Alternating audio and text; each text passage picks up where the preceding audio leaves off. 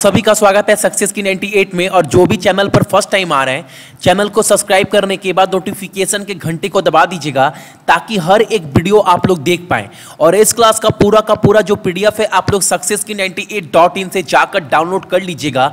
और ये पूरे साल का करंट अफेयर का रिविजन का पार्ट एट है। ताकि आप लोग करेंट अफेयर में अच्छे स्कोर कर पाएँ।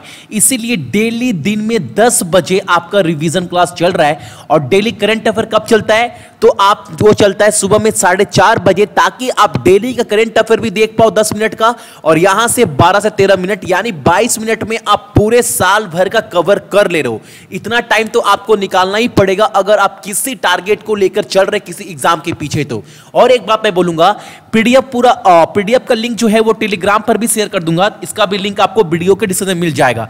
तो देखते हैं, पहला प्रश्न हमारे सामने क्या है? और हाँ आपको जज करना है कि 40 में आपको कितने क्वेश्चन का आंसर जो है, वो सही सही पता था। ठीक है?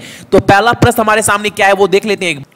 पहला प्रश्न है 2018-19 के लिए डीडी महिला किसान पुरस्कार का पहला पुरस्कार किसने प्राप्त किया है? उनका नाम बताना है। और वो है आपका स्वाति सिंगडे। ठीक है? ऑप्शन नंबर सी क्वेश्चन पढ़ रहा हूँ, आपके सामने है, आपको भी आंसर देना है। मैं दो से तीन सेकेंड पर एक क्वेश्चन पढ़ने के बाद आपको टाइम दूँगा, ठीक है? अगला प्रश्न हमारे सामने, हाल ही में कुर्ग अरेबिका जो कॉफ़ी है, उसको जियो टैग यानी जोग्राफिकल इंडिकेशन का टैग मिला है, यह किस राज्य में उगाया जाता है यह आपको बताना है।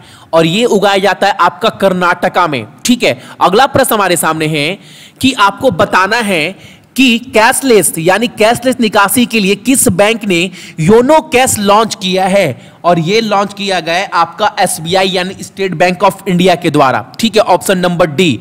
अगला प्रश्न हमारे सामने है। 2020 का अंडर 17 महिला विश्व कप फुटबॉल की मेजबानी कौन सा देश करने वाला है 2020 में? और ये करने वाला है हमारा भारत, यानी इंडिया। अगला प्रश्न हमारे सामने है।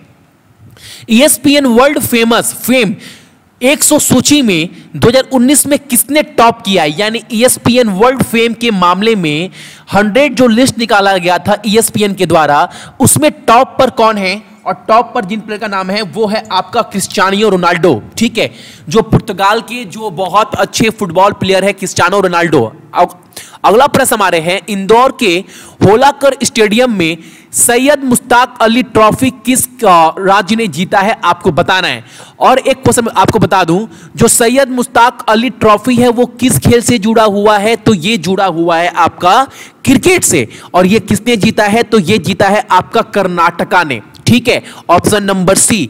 अगला प्रश्न हमारे सामने है, वैश्विक पर्यावरण आउटलुक रिपोर्ट छठवें संस्करण का शीर्षक, यानी टाइटल क्या है, ये आपको बताना है इस क्वेश्चन में।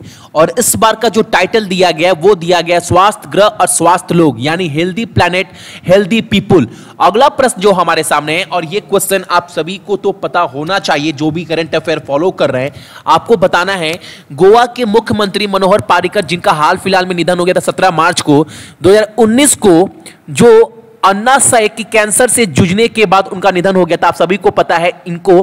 तो आपको बताना है, वो किस आईआईटी के शाखा का पूर्व छात्र थे? आपको बताना है, वो किस आईआईटी के स्टूडेंट रह चुके थे? आपको बताना है। तो वो रह चुके थे आईआईटी बम्बे का। ठीक है, मुंबई। अगला प्रश्न हमारे सामने जो अभ्यास है एक, जिसका नाम क्या है? एफ़ इंडेक्स वो 19 मार्च को जो है वो 18 मार्च को जो है उसका शुरुआत हुआ था। आपको बताना है एफ़ इंडेक्स उन्नीस नाम दिया गया था। ये जो अभ्यास है वो इंडिया और किस देश के बीच का ये अभ्यास है? तो इंडिया और अफ्रीका के बीच का ये अभ्यास है ठीक है? अगला प्रश्न हमारे सामने है, आपदा प्रतिरोधक संरचना उन्नीस पर अंतर्राष्ट्रीय कार्यशाला की मेजबानी कौन सा शहर करने वाला है? और ये करने वाला है आपका New Delhi option number A. ठीक है। अगला प्रश्न हमारे सामने, चक्रवात। आईडीएआई ने 1.5 मिलियन से अधिक लोगों को प्रभावित किया है, जिनमें जिनमें निम्नलिखित महाद्वीपों में से है। आपको बताना है, वो कौन सा महाद्वीप है जहाँ पर सबसे ज़्यादा प्रभाव पड़ा है? और वो है आपका ऑप्शन नंबर सी अफ्रीका ठीक है। प्रश्न है भारतीय एथलेटिक, जिनका नाम क्या है? इरफान कैटी ने 2020 टोक्यो ओलंपिक के लिए किस श्रेणी में क्वालिफाई किया है? आप सभी को बता दूँ 2020 में जो है ओलंपिक कहाँ होने वाला है? तो वो होने वाला है टोक्यो में। और ये भी याद रखिएगा, और जो इरफान केटी ने क्वालिफाई किया है, वो किया है रेस वॉकिंग के लिए। ठीक है रेस वॉकिंग अगला प्रश्न हमारे सामने है फ़र्स्ट लोकपाल ऑफ़ इंडिया जो है, वो कौन बन गया? संभावना नहीं, इन्हें बना दिया गया ये रिवीजन चल रहा है तो याद रखिएगा।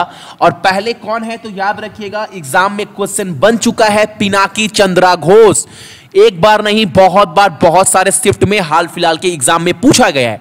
अगला प्रश्न हमारे सामने है, माथे महादेवी, जिनका हाल फ़िलहाल में निधन हो गया है, आपको बताना निम्नलिखित में से किस समुदाय की पहली महिला जगत गुरु का निधन हो गया है? जिनका नाम क्या था? माथे महादेवी। और वो थी आपका किसका? तो लिंगायत समुदाय का। ऑप्शन नंबर डी, अगला प्रश्न हमारे सामने भारत के स्वच्छ भारत मिशन को बढ़ावा देने के लिए माइक्रोसॉफ्ट के द्वारा शुरू की गई परियोजना, यानी परियाना है, यहाँ कर लीजिएगा, परियोजना का नाम बताना है। उसका नाम क्या था? तो वो है आपका ऑप्शन नंबर सी, संगम। ठीक है? अगला प्रश्न हमारे सामने उज्बेकिस्तान गणराज्य में भारत के अगले राजदूत के रूप में किसे नियुक्त किया गया है? उनका नाम क्या है? तो उनका नाम है आपका Santosh Jha, option number B. अगला प्रश्न हमारे सामने है, निम्नलिखित में से किस खेल को वीवो आईपीएल 2019 सीज़न के लिए आधिकारिक भागीदारी के रूप में जो है, वो नामित किया गया था। उसका नाम बताना है और सभी को पता है ड्रीम इलेवन। और ये भी अभी आईपीएल, जो क्रिकेट चल रहा है वर्ल्ड कप, वहाँ पर भी ये ड्रीम इलेवन जो है, वो भागीदार है। ठीक रखिएगा। अगला प्रश्न हमारे सामने है आज का, और देखिएगा कितने क्वेश्चन आप सभी सही कर पा रहे हैं। मैं बार बार बोला डेली अपने आप को जज करना है। ठीक है? उन्नीस All England Open badminton championship में महिला के कैटेगरी में खिताब किसने जीता है, ये आपको बताना है। और ये खिताब जीता गया है आपका option number A, chain UPI के द्वारा। अगला प्रश्न हमारे सामने है। डाटा, एक आंकड़ा जारी किया गया है कॉमर्स मिनिस्ट्री के द्वारा, यानी वाणिज्य मंत्रालय के द्वारा। उसके अनुसार इंडिया का ट्रेड डिफिसिट फरवरी 2019 में कितना है यह आपको बताना है। और वो है आपका 9.6 बिलियन, ऑप्शन नंबर डी। अगला प्रश्न हमारे सामने प्रतिष्ठित कुसुम गार्ग। साहित्य राष्ट्रीय साहित्य पुरस्कार के लिए किसे चुना गया? हालाँकि ये क्वेश्चन मैंने आप सभी को कल ही करवाया था शायद, ना? देखकर लग रहा है। और इसका आंसर मैंने भी आपको कल बताया था उनका नाम क्या है? तो उनका नाम है आपका Ved Rahi option number C Denmark के स्पेशलिस्ट के द्वारा एक जेंडर न्यूट्रल एआई वॉइस जो है, वो जारी किया गया है डिजिटल सर्विस के लिए। उसका नाम क्या दिया गया तो उसका नाम है आपका क्यू ऑप्शन नंबर ए अगला प्रश्न हमारे सामने है। कि भारत के लिए जलवायु बद्धता सूचांक के अनुसार कौन सा भारत का राज्य है जो सबसे ज़्यादा असुरक्षित है, ये आपको बताना है इस क्वेश्चन में। और वो राज्य कौन सा है? तो वो राज्य है आपका आसाम। ऑप्शन नंबर डी यानी आसाम जो है वो सबसे ज़्यादा क्या है? असुरक्षित है। ठीक है? Australian F I Grand Prix 2019 के विजेता कौन है, उनका आपको नाम बताना है। और ये जो है, वो कार रेसिंग गेम है और उनका नाम क्या है? Valtteri Bottas option number A is the correct answer ठीक है? संयुक्त राष्ट्र पर्यावरण सभा का चौथा सत्र कहाँ आयोजित किया जाएगा, ये आपको बताना है। और ये किया जाएगा आपका नैरोबी में। ऑप्शन नंबर बी ठीक है। अगला प्रश्न हमारे सामने हाल ही में 2019 का ग्लोबल रिसाइकलिंग डे किस दिन मनाया गया है? और ये कब मनाया गया है? तो ये मनाया गया आपका 18 मार्च को। और आपको बताना है, इस बार का जो थीम है, जो विषय है, वो क्या है? ये आपको कमेंट करके कमेंट बॉक्स में बताना ये आपका आज का पहला काम है। अगला क्वेश्चन है, गोवा के ग्यारहवें मुख्यमंत्री के रूप में किस शपथ ली है? अगर करंट अफेयर सुबह साढ़े बजे फॉलो कर रहे हैं तो इस क्वेश्चन में माइंड में हल्का सा भी डाउट नहीं आना चाहिए। आंसर क्या है? Pramod Sawant. Option number A is the correct answer अगला प्रश्न हमारे सामने, मुकेश अंबानी ने हाल फ़िलहाल में जो उनके भाई है अनिल अंबानी, उनका जो बकाया था, वो इन्होंने भुगतान किया है। वो किस कंपनी का जो है, वो भुगतान था, ये आपको बताना है। और वो भुगतान था आपका एरिक्सन कंपनी का ऑप्शन नंबर बी ठीक है। अगला प्रश्न हमारे सामने है, कौन सा सिटी जो है वो होस्ट करने वाला है? Third India Japan workshop on disaster risk reduction आपदा जोखिम न्यूनीकरण पर किस शहर ने तीसरी भारत जापान कार्यशाला की मेजबानी करेगा और वो देश और वो स्टेट कौन सा है? वो स्टेट है आपका option number A, New Delhi. अगला प्रश्न हमारे सामने आपको बताना है, इंडिया पोस्ट ने, यानी इंडिया पोस्ट ऑफ़िस ने एक पर्यावरण पहल पर एक विशेष स्टैंप कवर जारी किया है, उसका नाम बताना है। और वो है आपका ice stupa, option number B. ठीक है, अगला प्रश्न हमारे सामने, हाल ही में मार्च 2019 में कौन से भारतीय एयरलाइंस वाहक international air transport air transport association में शामिल हुए हैं। यानी इंटरनेशनल एयर ट्रांसपोर्ट एसोसिएशन में कौन सा एयरलाइन जो है इंडिया का, वो शामिल हुआ है, उसका नाम बताना है। और वो है आपका spice jet option number A. ठीक है, अगला प्रश्न हमारे सामने है। The insolvency and bankruptcy board of India ने हाल ही में insolvency and bankruptcy code सोलह के बेहतर कार्यान्वयन के लिए किस संगठन के साथ समझौता जो है, उस पर डील साइन की है, आपको बताना है। और वो कौन सा है? एफ़ आई सी सी आई ठीक है? अगला प्रश्न हमारे सामने है, हर साल अंतरराष्ट्रीय खुशियाँ कब मनाई जाती है? अच्छा हर साल इंटरनेशनल डे ऑफ़ हैप्पीनेस कब मनाते हैं, ये आपको बताना इस क्वेश्चन में।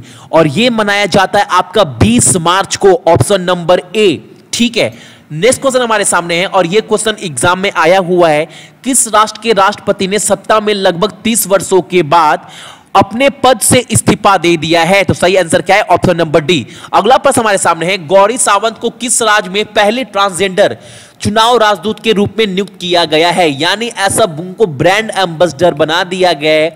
वो पहली ट्रांसजेंडर है। और ये किस स्टेट में बनाया गया था, आप सभी को पता है, ये महाराष्ट्र की है। तो ये बनाया गया था लोकसभा चुनाव के लिए, महाराष्ट्र के लिए। ठीक है ऑप्शन नंबर बी अगला प्रश्न हमारे सामने है, कौन सा क्रिकेट स्टेडियम पहली बार टी टेन यानी आपने सुना होगा test match T twenty one day match अब टी टेन क्रिकेट लीग की मेजबानी करेगा। वो कौन सा? आपका ये है तो वो है Zayed cricket stadium, option number A. ठीक है, अगला प्रश्न हमारे सामने, अफ़गानिस्तान ने किस राष्ट्र को हराकर अपना पहला टेस्ट मैच जीता है, यानी क्रिकेट की बात कर रहा है, और उन्होंने किसको हराया है तो उन्होंने हराया है आपका आयरलैंड को, ऑप्शन नंबर सी। ठीक है, अगला प्रश्न हमारे सामने है, आपको बताना है कौन सा भारत का तट रक्षक जहाज़ इंडोनेशिया की यात्रा करने वाला पहला तट रक्षक जहाज़ बन गया है? और उस जहाज़ का नाम क्या है? तो वो है आपका विज़िट ऑप्शन नंबर ए। अगला प्रश्न हमारे सामने है, हाल ही में रितु बेरी को भारत में किस देश के सांस्कृतिक और पर्यटन राजदूत के रूप में नियुक्त किया गया है? आपको यह बताना है। और वो क्या है? Uzbekistan, option number B.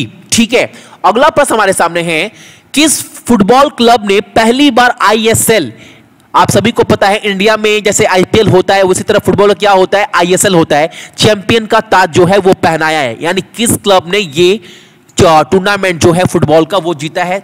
तो वो कौन है आपका? Option number D Bengaluru FC अब आपको कमेंट कर बताना है कि आपने कितने क्वेश्चन के सही सही आंसर दिए ठीक है? और इसका पूरा का पूरा पीडीएफ जाकर डाउनलोड कर लीजिएगा सक्सेस की 98 डॉट इन से। राइट चलिए।